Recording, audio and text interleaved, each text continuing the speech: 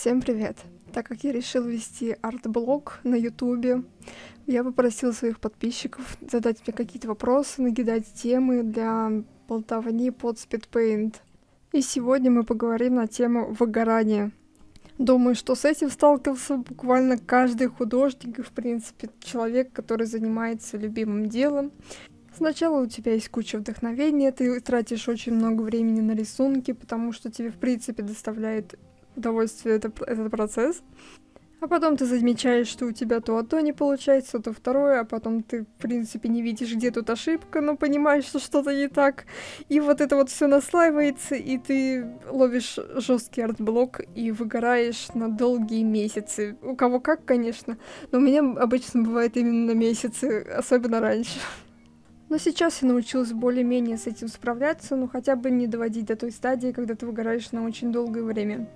И первое, что влияет на выгорание, это перенасыщение. То есть не тратьте очень много времени на рисование, именно когда вы чувствуете, что уже устали, голова ваша устала. Но в то же время вы хотите скорее закончить арт, чтобы увидеть уже результат, потому что вам, в принципе, нравится, что и как получается.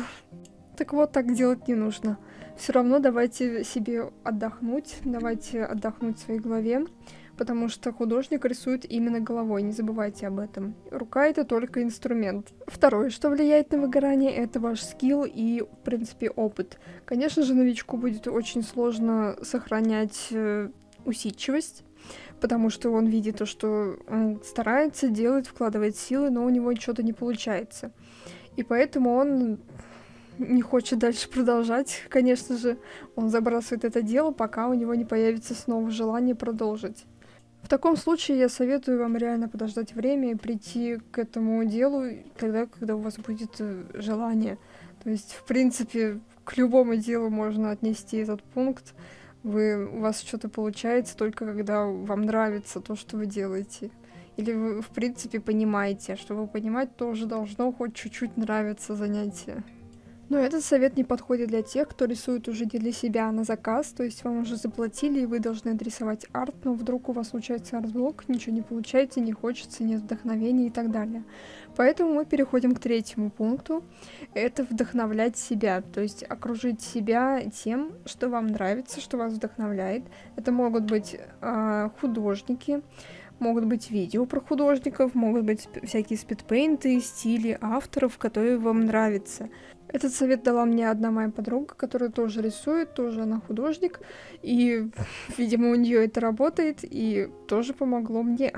Поэтому я советую вам. Сейчас я объясню, как это работает. Так мы прокачиваем свою насмотренность, то есть свои глаза. Нужно смотреть на художников, которые именно скиллом выше вас или хотя бы на уровне. Потому что, когда вы смотрите на то, что ниже уровнем, ниже вашего уровня, глаз все равно цепляется, мозг пытается на этом учиться, запоминает, и потом вы просто не понимаете, как рисовать дальше. То есть вы покрываете свою информацию, которая у вас в голове о том, как правильно рисовать, покрываете эту информацию тем, как неправильно рисовать. Что самое важное, не нужно смотреть на, на стиль, на все такое. Не надо искать, как скопировать стили и все в этом роде. Мы смотрим на другую тему.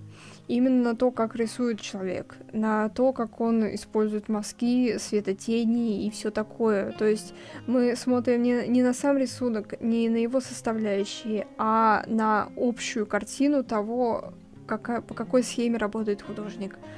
То есть, если смотреть на то, как э, человек смешивает несочетаемые цвета, э, ваш мозг привыкнет к этому, и потом вы не будете понимать, как смешивать цвета. Ну, это работает именно так, когда вы долго смотрите на подобное. Конечно, если вы просто взглянули на такое, у вас мозг резко не поломается. Но все равно на долгосрок лучше окружить себя тем, что вас вдохновляет. Перейдем сразу к четвертому и пятому совету. Четвертый совет — это вдохновляться фотографиями, то есть подписаться на каких-то блогеров.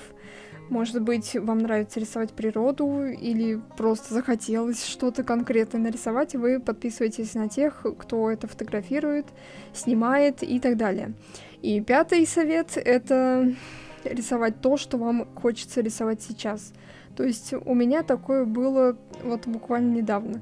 Я словила выгорание, у меня ничего не получалось, но я увидела фотографии гор, сделала пару ючей с таким фоном, принципе, порисовала фон с горами, и все ко мне вернулось. То есть мне дальше хочется рисовать и все такое. И шестой совет, участвуйте во всяких челленджах, ну, если вам это интересно, конечно же.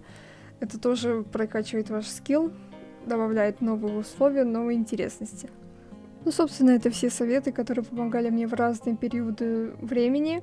Надеюсь, они помогут вам. Speedpaint тоже подходит к концу, и вы можете видеть, как получился этот арт, который я нарисовал буквально на днях. За бесплатно, кстати, и чтобы не пропускать такие халявки, подписывайтесь на мою группу ВК.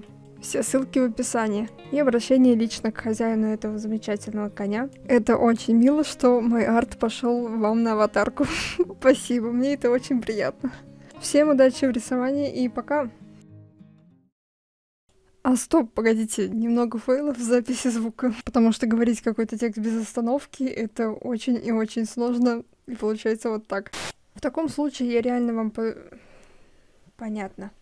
И первый... Какой первый? Второй? Получается, когда вы еще новичок, но видите и, и хотите видеть картинку. Чего сейчас? Сейчас переговорю заново. А, в принципе, концы... Чего? А потом ты занимаешь... Ясно. Но со временем я научилась с этим бороться, и сейчас я... Сейчас, да, ну сейчас... А, дайте мне нормальный голос. Чувствуете, что уже устали, голова ваша устала, у вас уже, не знаю, есть симптомы усталости. Чё я